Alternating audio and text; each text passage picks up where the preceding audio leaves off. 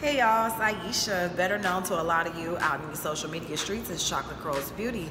I Got a question from Tori. Tori wanted to know what made you decide to go to cosmetology school? Were you nervous about doing it? Any advice on how to go about this? Greatly appreciated. Of course, Tori, I can answer this question for you.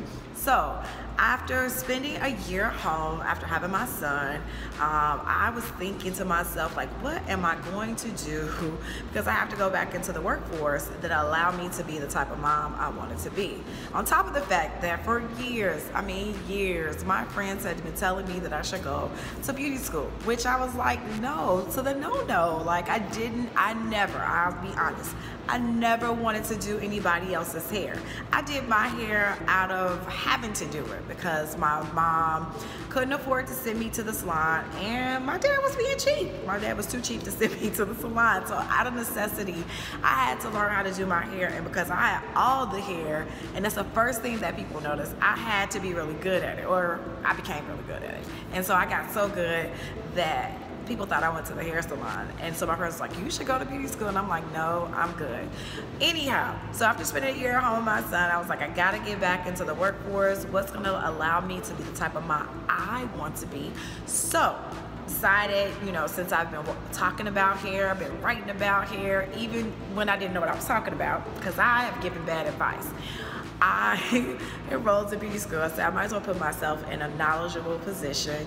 Uh, so I went and uh, applied to whatever school, no, I won't say whatever school, but I found a school that had um, a schedule where they were starting immediately because most of the programs they run on schedule so you can only enroll at certain times of the year. This school had like continuous enrollment. So i was like i'm gonna go here. It's inexpensive because what? I got a bachelor's degree that i owe money on. I don't want to accumulate any more debt.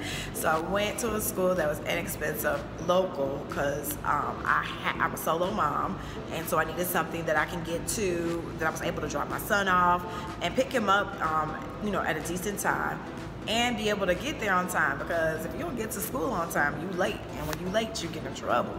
So, found a school that was local, that was inexpensive, and I got myself a mentor. So I shared on my social media that I was going to beauty school, and so Elise was like, oh, let me know if you need any help.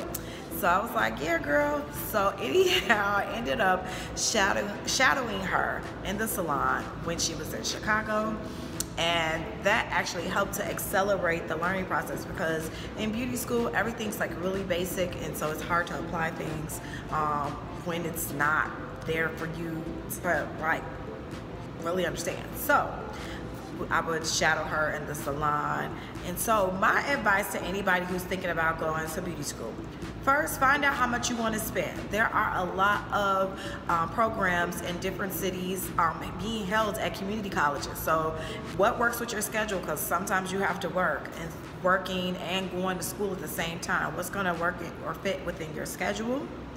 Um, I would suggest uh, going and visiting these schools, seeing if the schools have, you know, the type of equipment or program that you're looking for, what can you learn. I would definitely, definitely, if you can, without a doubt, when you enroll, find yourself a mentor, somebody who's already doing what you want to be doing, or somebody who is at a place that you would like to uh, get to. So I would suggest that. So if you're interested in going to beauty school, find you a school, find out what your budget is or determine what your budget is. Find yourself a mentor and work your ass off. So if you guys have any questions uh, as it relates to beauty school, uh, becoming a cosmetologist because I'm just a year into being licensed, haven't even been behind the chair an entire year. If you want to know anything about creating content, let me know. I'll answer these questions and more um, as time goes on. So, see you guys later.